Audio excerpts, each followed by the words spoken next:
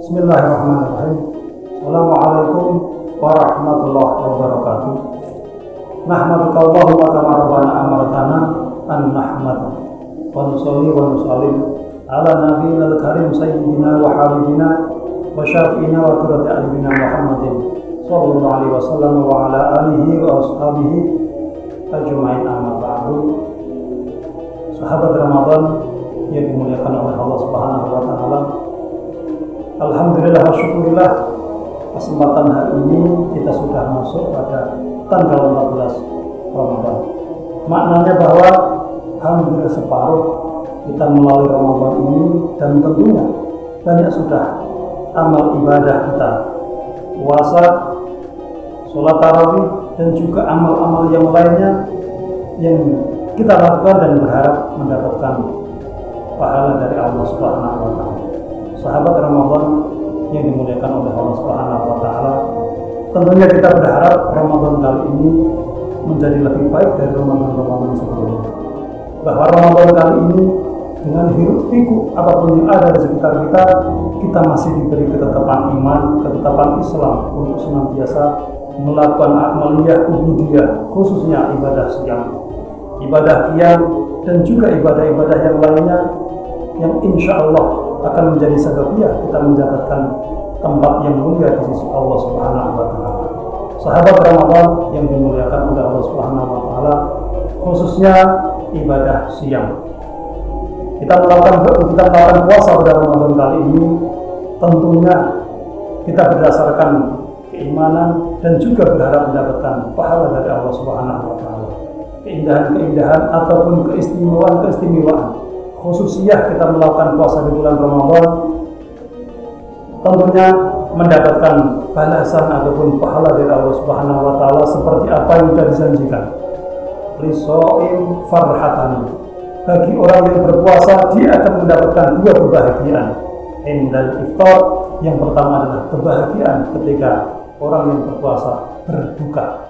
Dan yang kedua, indal bagi orang yang melakukan puasa dia akan senantiasa berjumpa atau bertemu dengan Allah Subhanahu wa taala. Sahabat Ramadan yang dimuliakan oleh Allah Subhanahu wa taala. Dan juga hadis hadis menyebutkan fa innahu li wa anna ajzibihi. Dan bagi orang yang melakukan puasa, urusan puasa adalah urusan Allah Subhanahu wa taala dan Allah berjanji akan memberikan pahala atau memberikan balasan khusus bagi orang yang melakukan puasa. Sahabat Ramadan yang diberkahi dan diridai oleh Allah Subhanahu wa taala. Sultanul Ilm Imam Izuddin bin Abdi Salam dalam kitabnya Maqasidus Saum beliau banyak menjelaskan ataupun menerangkan memberikan gambaran keistimewaan-keistimewaan ataupun keindahan-keindahan bagi siapa pun yang melakukan ibadah sunnah. Yang pertama adalah yataraqqa idarajatil aliyah. Bagi siapa orang yang melakukan ibadah puasa, dia akan mendapatkan derajat ataupun makom yang tinggi di sisi Allah Subhanahu wa taala. Yang kedua, tagafir khati'ah bahwa siapa pun yang melakukan ibadah puasa dalam hadis Rasulullah Muhammad sallallahu alaihi wasallam min dhanbi ma taqaddama yang melakukan ibadah puasa didasarkan karena iman dan senantiasa berharap mendapatkan pahala maka bagi Allah Subhanahu wa taala akan memberikan penghapusan ataupun ampunan ataupun maghfirah semua dosa-dosa yang sudah lewat. Dan yang ketiga kasyur syahwat siapa pun orang yang melakukan puasa dapat menekan hawa nafsu dapat menekan apa yang diinginkan secara duniawi akan menjaga puasanya dari pagi sampai benar-benar mendapatkan ridho sampai iftar.